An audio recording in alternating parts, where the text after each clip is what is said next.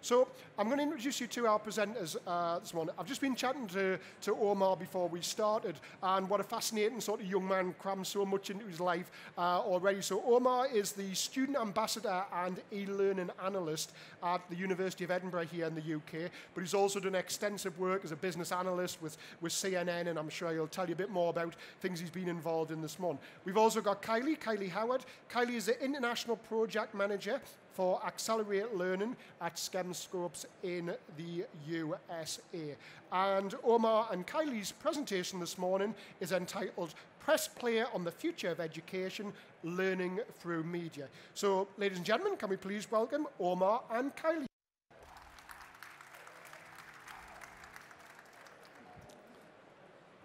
I want you all to imagine this. It's 4 p.m. on a Sunday afternoon in October. The sun is just starting to set and it's getting cold outside. You've got the Sunday blues. You have a few hours left of precious freedom before Monday morning. And all you want to do is relax. What would you typically do? Well, you might turn on the TV, start flicking through the channels, and you might come across something that you like. And you may very well come across some channels like these. You might come across a sports channel running a documentary. Exclusive. Sports science experts are going to forensically analyze what makes him such an efficient machine. Ronaldo will submit to an array of tests, each one designed to investigate a different strength in his game. Or you might turn on the news. But against the odds, he is relearning how to walk thanks to a new spinal implant. Or you might also put on a cooking channel. And this cooking channel might be talking about a certain ingredient in a certain part of the world and how that is used in cooking. And that in itself is a chemical reaction. But I want to ask you this. How many times have all of you turned on the TV and looked at a video either on television or online that you thought could be used in the classroom, but none of you did, eh, did anything about it purely because you were consuming it for entertainment purposes? Well, the short answer, if I was to say, is a lot. And the main message of our presentation to you is this that the current education system is still flawed and outdated. There is a big disconnect between what is taught in the classroom and its application to the real world. There has been an explosion of media content over the last 20 years or so, but many of these resources are still underutilized. And in order to understand why this is the case, firstly, we must examine the way we currently teach students. And I want to start by showing you this, and hopefully we'll have luck with uh, streaming. Project list and report on them every five weeks. The first 20 questions at the end of chapter one are due tomorrow. Agricola. Agricola. Agricola. Agricola. Agricolae. Agricolarum. Agricolis. Agricolas. Agricolis. Again, please. Agricola. Uh-huh. Your study of trigonometry requires absolute precision. Anyone failing to turn in any homework assignment will be penalized one point off their final grade. Let me urge you now not to test me on this. Now, for those of you who don't know, this is an excerpt from the movie Dead Poets Society, one of Robin Williams' masterpieces. Now, what I love about this movie is that it's supposed to be set in 1956. And what I find amazing is how much things haven't changed since supposedly then. Yeah, sure, we have a few more computers in classes now, but we still have students sitting in big classes, separated by rows, regurgitating information from a teacher standing all the way at the front like a bunch of parrots. Students today are still bored, unmotivated, and unengaged with many topics taught at school. But the thing is, it doesn't have to be that way. We're now living in 2019, not supposedly 1956. And to talk to you in more detail about the education landscape, I'm going to hand over to Kylie. Thank you. So we all know that there are extreme pressures for standardization right now, and it's not only affecting teachers, but it's affecting students. So students are now afraid to be wrong, and their only concern is to pass. And then a lot of places now are going to, you know, uh, performance-based pay for teachers, and that is based on the data from these tests. Uh, so we know that we need to prepare students for these tests, but we also need to increase their student engagement so that they do master these tests and, and kind of change the way we're thinking from teaching to the test to teaching for their life, for their future. Uh, we are not saying testing's a bad thing. It's kind of like the Goldilocks rule. You can have too much of something, too little of something, or just the right amount. So we need to, you know, gauge what that right amount is and really think about the delivery of what we do to, to reach the students. Salman Khan from the Khan Academy says it best is that we can't be 75% good at something. So we have these the, our students take these tests. We say mastery is an 80%. You have a high performing student, they, could, they perform at 90%, but there's still that 10% of something that they're missing. And we're saying that's okay, and we move on. And we're creating these Swiss cheese gaps of knowledge so that'll eventually catch up to them, and that 10% will come back.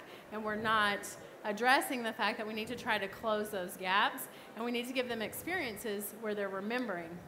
Uh, so if we get, we kind of relate that to brain research and how we learn. So we all know that when we learn something, our brain is working, it's exercising, and that acquiring knowledge is, increases dopamine in our brain. So in standard education, we're kind of failing to maximize uh, the brain's capacity for learning. So we're teaching and we're saying, okay, we, and even as adults, we do this. We commit it to our short term memory. We use it for what we need and then we forget it. Um, and that's because of how we learned it.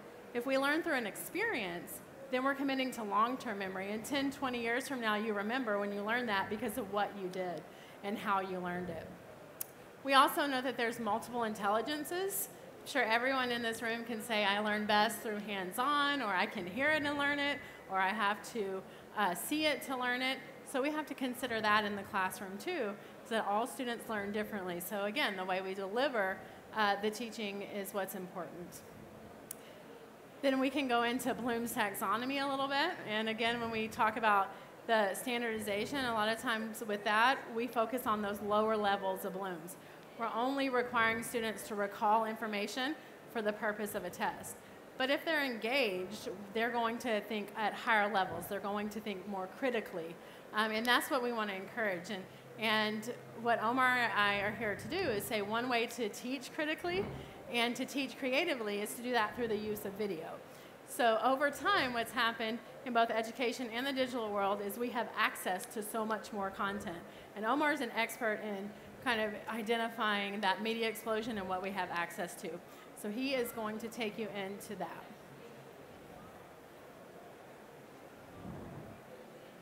Imagine, if you will, sitting down to your morning coffee, turning on your home computer to read the day's newspaper. Well, it's not as far-fetched as it may seem. Imagine a world where every word ever written, every picture ever painted, and every film ever shot could be viewed instantly in your home via an information superhighway. A virtual world with a very real money-making data trail.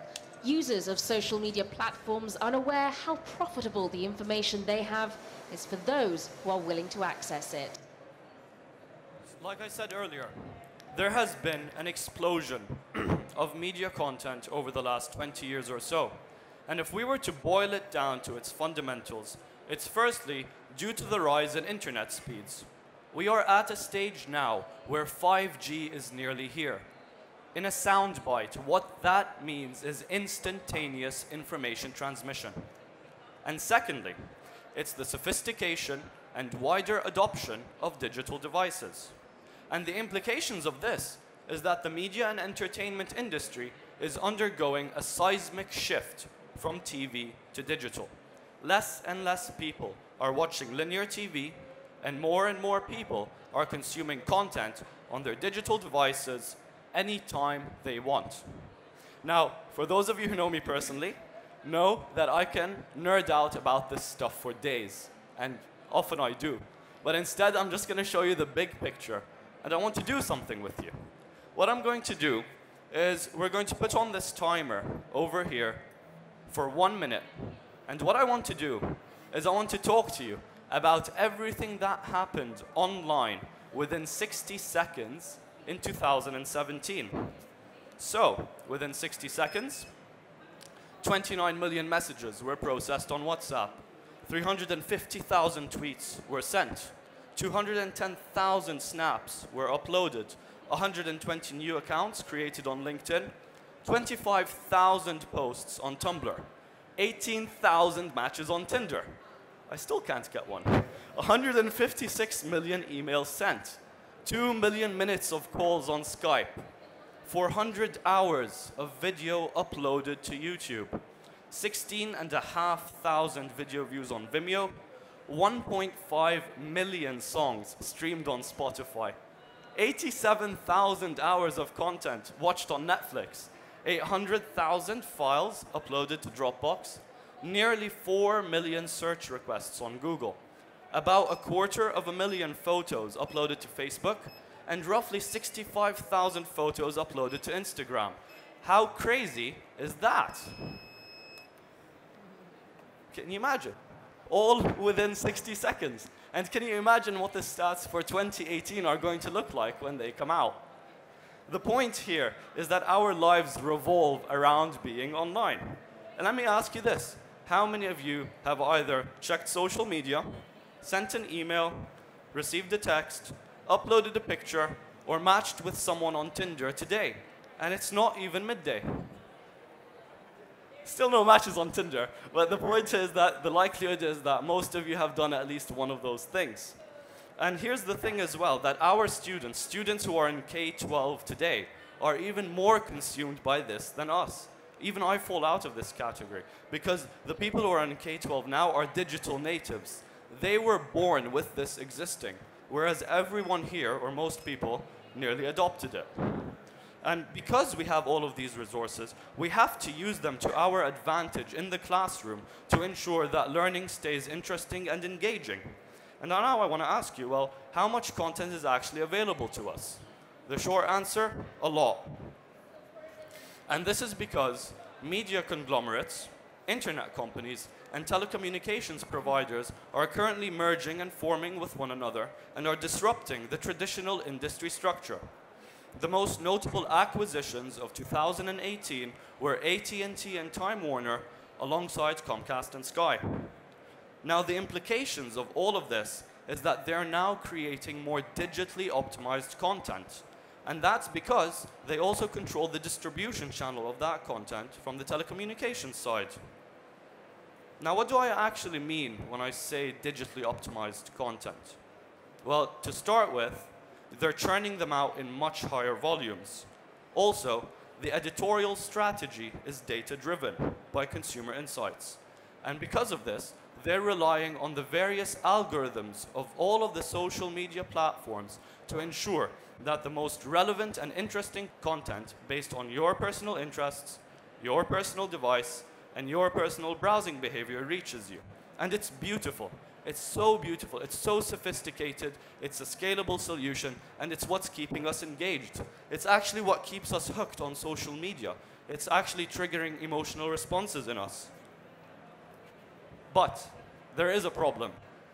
And the problem is that every single one of us is consuming a small, tailored fraction of all of the media that is actually out there.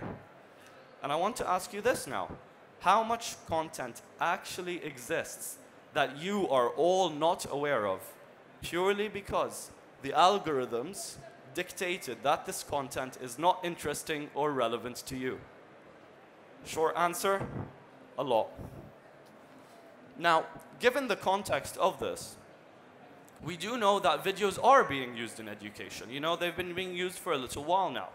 But the thing is that these videos are being used because they're very efficient. They have many potent pedagogic roles, and they also have many affordances to learning.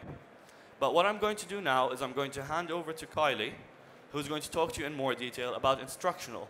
But before I move on, sorry, Kylie, what I must say is that these pedagogic roles are also categorized into Bloom's taxonomy. And these four domains are facilitating cognition, providing realistic experiences, nurturing affective characteristics, and demonstrating skills. Now, before we move on, what I must say is this that due to the diverse nature of videos, any type of video could hit any one or any combination of these pedagogic roles. It's just that each one is different. So, without further ado, Kylie is going to talk to you about instructional videos. So instructional videos, these are all the videos that we're most familiar with as teachers. These are the ones that are produced for the purpose of meeting a standard or a learning objective. These are the videos that students can watch over and over again until they master the content. We can pull data from these videos to see if students are getting what they're supposed to from the uh, standard. Uh, and like Omar said, when we look at Bloom's, we have facilitating cognition and demonstrating skills.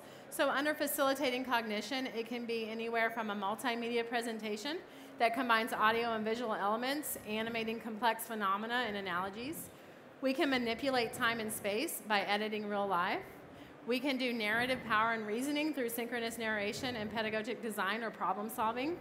We can also demonstrate skills through this, developing psychomotor skills, study skills, and we can show experiments. So maybe you don't have access to materials. Students can see and, and watch again and again to see how something works. So if we were to show you some examples of what that looks like in video, it would look like this.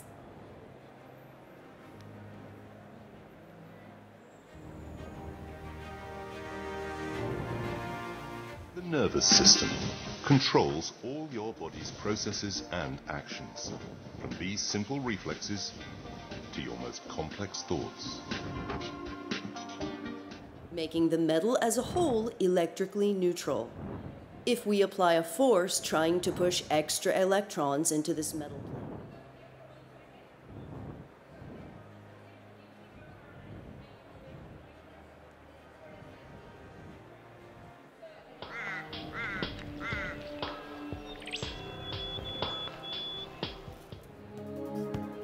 fertilized ovum undergoes rapid divisions and forms a blastula.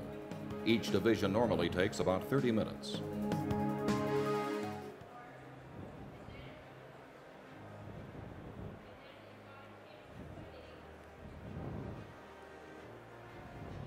Is equal to this whole thing right over here. That's what that first equation is telling us. And if we have to find an x and a y that satisfy both of these equations, if y is equal to that, why can't I just substitute that right here? Republic Dominican, Cuba, Caribbean, Greenland, El Salvador, too, Puerto Rico, Colombia, Venezuela, Honduras, Guyana.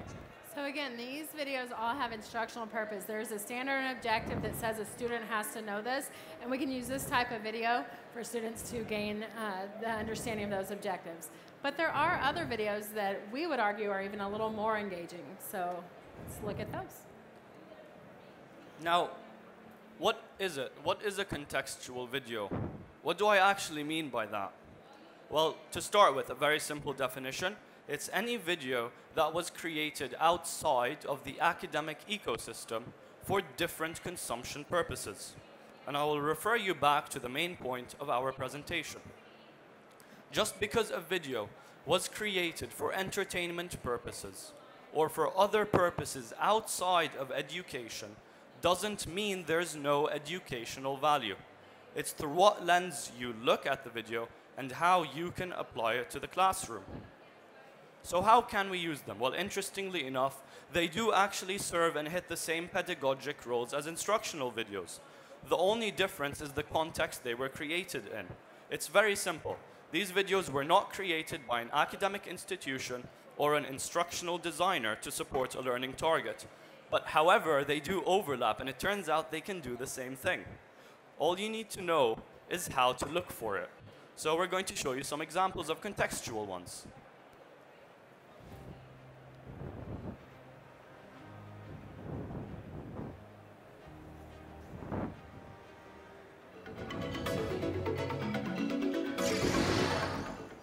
Is the first place to receive a signal. From there, it travels down the spinal cord and branches out to our organs. Or a nor'easter. You start with a low. It's going to travel from the southeast to the northeast and intensify. Nor'easters are strongest around New England as well as the Canadian maritime provinces.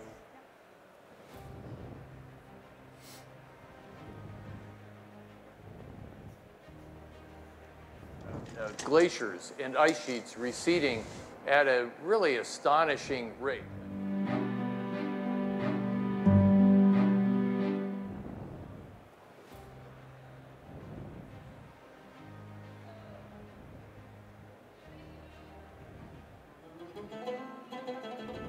Ramadan is the ninth month of the Muslim lunar calendar that we fast from dawn to sunset. The holy month of Ramadan commemorates the sanctity of God, re-establishing our relationship with Him. It's a mosquito-borne virus, part of the same family as yellow fever, West Nile, chikungunya, and dengue. I describe it as having bubblegum, and once it's lost all its flavour, you have just a piece of rubber that you chew over and over again. That is essentially what food is like for me when I put food into my mouth. My name is Adrian Wellock, and I have lost my sense of taste. See? Same thing, just in a different context, facilitating cognition.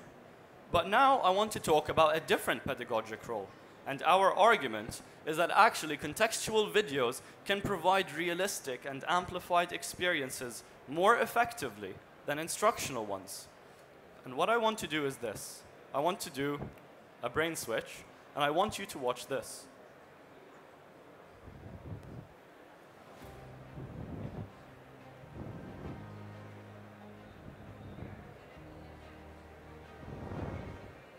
So we're talking about what it feels like to spend the night in an active volcano.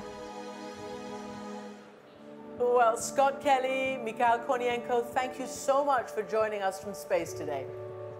Our pleasure, Christiane. Thanks for uh, allowing us to be on your program. Uh, thank you for joining us. Station, this is Houston ACR. That concludes the event. Thank you. You're diving just off the coast of Curacao, swimming through one of the Caribbean's last thriving coral reefs.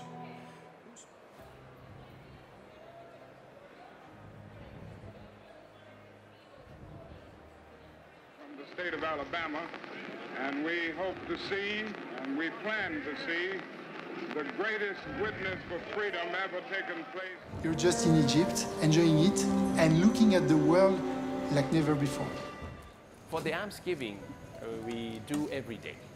Yeah, every day, even the rainy season or the dry season. So seven days a week.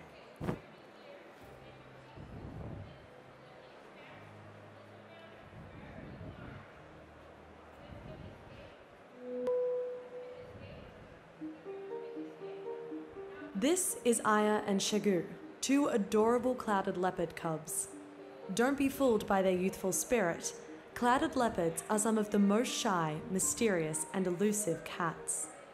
Everything we do uh, is, in fact, inspired by the blueprint of what nature gave to us in the first place. I always thought, you know, a snowshoe would really make a great cello. Come on, guys. Come on. We can literally do interviews from outer space now. Surely these videos can be used in the classroom. I'm telling, I'm asking you, please, please use these in the classroom. Yes, you can see these bring the school topics to life. And yes, they were created in a different context. But that's, that is the strength. Because when you apply it to the school topic or to the lesson, the actual topic then becomes more interesting and engaging for the student. And this is because you're no longer just focusing on the learning objectives or the standards, but instead you're being able to relate it to the big picture and apply it to the real world. And you can always, you can help answer the question that students, especially with an attitude, always ask, why do I have to know this? When we're talking specifically about viewpoints and inaccessible places, we can now go to places we've never been to before. Especially with the rise of technology and more virtual reality experiences, you can leave the classroom and come back in a split second, in the blink of an eye. And guess what? You're still learning. You're just momentarily leaving the class. And when you're providing like this sort of experience to a student, it's actually refreshing for them. And it's refreshing because when they come back, they, you know, their mind was somewhere else, but then they're more engaged and interested in the topic. When we're talking about inaccessible events, because we're uh, spoiled for choice with all types of media now, we can exploit archived footage in a way to be able to help reimagine or relive what it was like to live in a certain era. Now, in instances where there's no footage, like ancient civilizations, however, we don't have that, but what we do have is a lot of extensive research and a lot of sophisticated technology that can help create simulations of that experiences. And when you're using this, students become more immersed with what it feels like to live in a certain era. When we're talking about animals, this is something that a textbook cannot do effectively. Let me ask you this. Would you rather learn about an endangered animal from a textbook or the diagram of a teacher on a whiteboard, or would you actually like to see it? I know what my answer is. When we're talking about objects, these unique, quirky objects, well, this is promoting students to think outside the box. You're inspiring them to create more innovative, unique, and maybe even sustainable solutions. And from what Kylie was talking about earlier, this is showing them that you don't, it's not a bad thing to be wrong. It's just part of the creative process. And now when we're talking about people interacting, and this is especially true for news companies. News companies have access to all types of experts and people that regular folks don't. So they can sit down with astronauts, professors, scientists, researchers, sports stars, and even celebrities who are doing good things in our world. And surely their views are relevant to what's taught in class. And when you're doing this, you're humanizing the topic. And when you humanize it, you're creating more of an association and they become concentrated. Now, we want to just briefly touch on this, which is the third pedagogic role. And this is nurturing affective characteristics. Now, they can do these contextual videos by providing realistic and amplified experiences can nurture affective characteristics. And very simply put, you can motivate them, you can galvanize them to spur into action, you can stimulate an appetite to learn. They're drawing on their personal experiences. They're more engaged with the topic. You can engender empathy. And something that videos can do is build rapport and tell stories, which is creating a connection to the school topic. Now, we do have some recommendations. Uh, that is, teachers need to be aware of the resources that are out there and use them in creative ways. In fact, when you use these, you can also decrease disciplinary behavior in the classroom because the kids are distracted with something fun. So just ask yourself this. Whenever you're consuming something in your personal time, just think in the back of your mind, how can I apply this to my classroom? You'd be surprised how many things you could find. And I want to leave you with one final example, which is personally my favorite. Every now and then I get a little bit helpless and I'm lying like a child In August 2017, a total eclipse occurred over the US, and Spotify released real-time visualization data of the peak streams of Bonnie Tyler's total eclipse of the heart. And what's amazing was the peak streaked correlated with the movement of the eclipse.